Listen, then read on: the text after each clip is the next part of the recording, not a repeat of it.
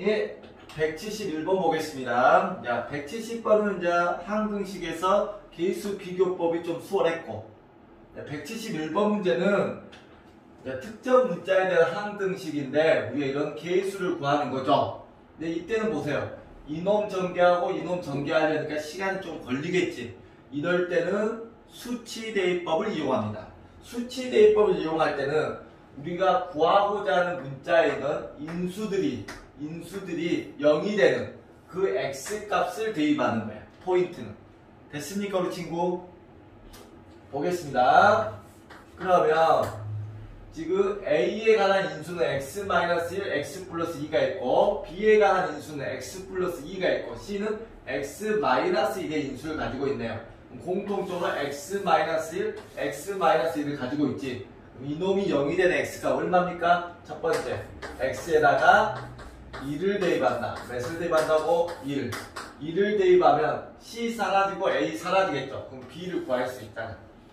2를 대입하면 2 플러스 그 다음에 13은 사라지고 사라지고 그렇죠 친구? 그럼 2를 대입하면 3B가 되겠네 3B 바로 B 값은 얼마가 됩니까 우리 친구?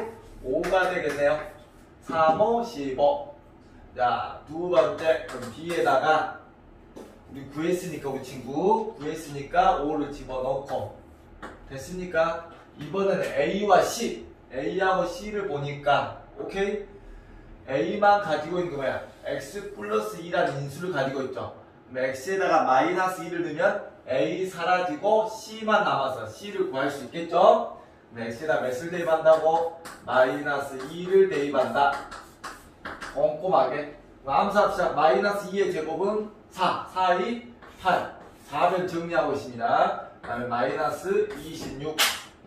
그 다음에 그러면 마이너스 2 넣으면 A 사라지고 여기 마이너스 2 넣으면 여기 또 B도 사라지겠지. 그렇죠? 그러면 마이너스 2 넣으니까 마이너스 3의 제곱은 9. 9C가 되겠네. 고로 C는 얼마가 될까 우리 친구 암산할까? 그러니까 마이너스 18이니까 C는 마이너스 2가 되겠습니다. 그래서 C는 마이너스 2. 자, 다 왔나요? 근데 A만 구하면 되네. A는 2라고 마이너스를 뺀 나머지 숫자를 대입하면 되죠. 좀 작은 숫자 대입해, 이쁘게. 몇을 대입할까? 뭐 입맛대로? 선생님 0을 대입할게. 음. 0을 대입해볼게요. 아, 나 아침에 수발라니까 목이 잠기네. 0을 대입하면 빵빵. 빵. 0 대입하면 마이너스 1 곱하기 2니까 마이너스 2a 0을 대입하면 2, 5, 10 0을 대입하니까 마이너스 1에 짝수 쓰니까 1이니까. 음, 마이너스 2가 나오겠네 우리 친구. 정리해보면 2a는 8이니까 a는 얼마가 나옵니까 우리 친구? 4가 나오겠죠? 그래서 묻고자 하는 것은 지금 a-b 3c니까.